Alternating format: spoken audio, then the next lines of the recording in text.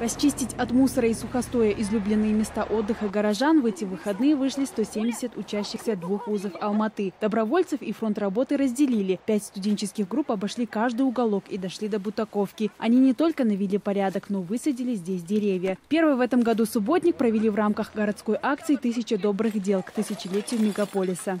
Будут высажены э, ели вместе, вместо сгоревших или же упавших. 4-5 лет тому назад, который у нас был сильный ураган. Это совместно с Лилатовским национальным природным парком.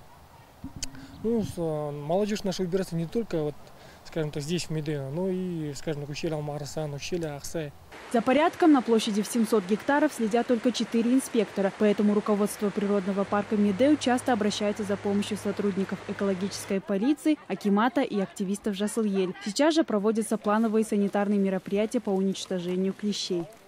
Вообще сезон клещей, а, клещей активизируется где-то в конце апреля, это мая, э, начало мая месяца.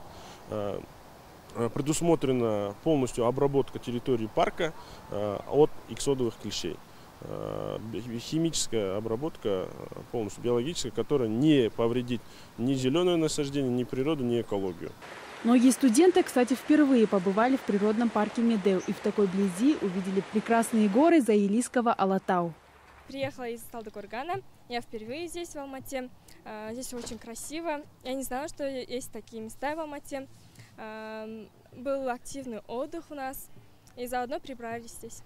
А, помогаем очистить наш город от мусора. Мы будем почаще приходить. Так мы должны следить за природой.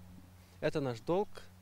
Слову, мероприятия по наведению чистоты прошли во всех восьми районах Алматы. На общегородской субботник вышли работники КСК, школьники и предприниматели. Ардак Камал, Мурат Тайжанов, телеканал Алматы.